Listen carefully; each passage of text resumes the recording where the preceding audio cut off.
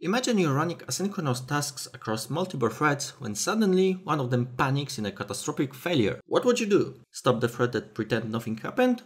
Or maybe crash the whole process hoping nothing needed finishing and cleaning up? Or maybe try to gracefully cancel all running futures and cleanly exit. Let me show you how to do just that.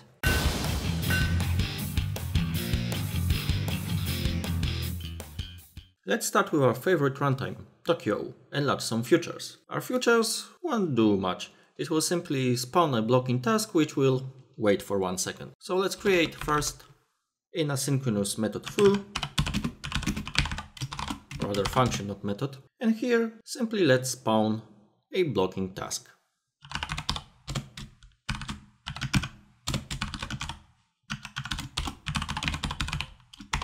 Okay, here's our task it simply sleeps, nothing more. We unwrap the result because for the sake of this video we don't care about the result in any way. At the end let's print something. Foo end. In, in our asynchronous main function, let's maybe spawn two asynchronous tasks using foo and join them. So Tokio. join. Here let's spawn foo two times and print something in the end. What will be the result when we run it? We have foo end, foo end at end. Beautiful, everything works. We have a clean exit with everything we assume printed out. But what happens when something panics? Let's introduce another asynchronous method. Let's call it boom.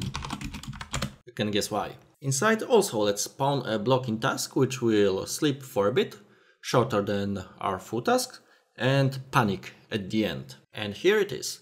Notice we're only sleeping for half a second and we panic just after that. So let's add it to our other futures. Boom.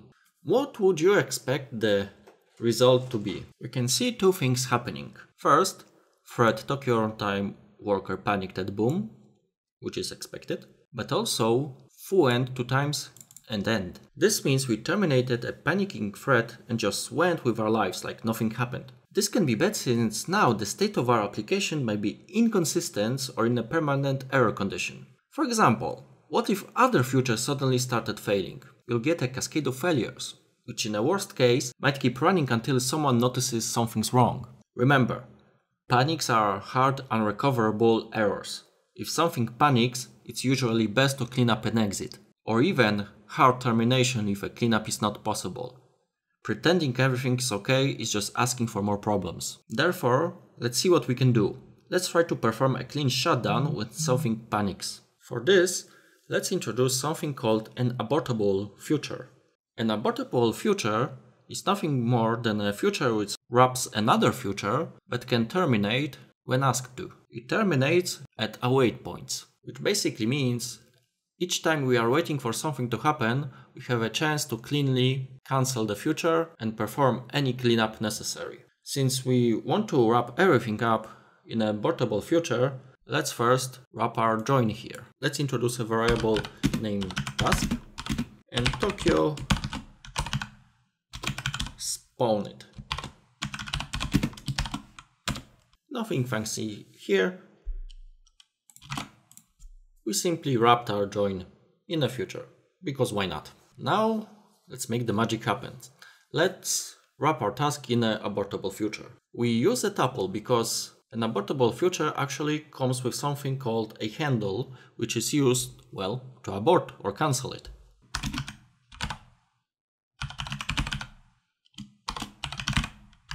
The abortable future is a part of the futures crate. Okay, so now we have our abortable future and an abort handle. What next? Next, we need to hook into the default panic handler. The first step is to get the current panic handler because we want our, our handler to call this one in the end. So we use std panic take hook. It's a box of some dynamic function. And now we set our hook Std panic, set hook, and here we box new, move lambda. A panic hook takes a panic info parameter. We won't use it, we'll just simply pass it on. And what can we do here? Well, we have our abort handle, so let's abort. Handle, abort, and then we delegate back. Hook, info. And after all is done, what we need to do is actually call our abortable future, call or rather await. So we await it. So let's go through the logic. We wrap our futures in one single future, or rather in asynchronous task.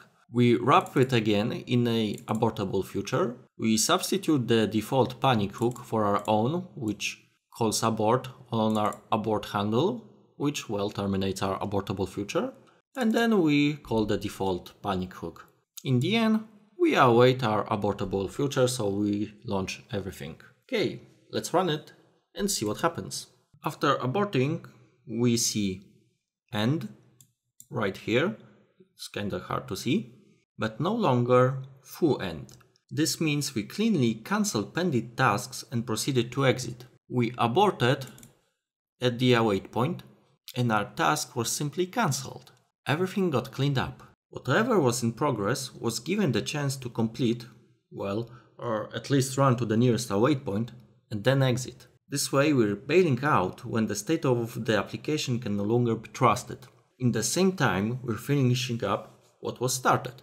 This spawn blocking task has finished, but instead of proceeding further like nothing happened, we cancelled. This is a much better way to cancel running tasks and exit the stage with dignity.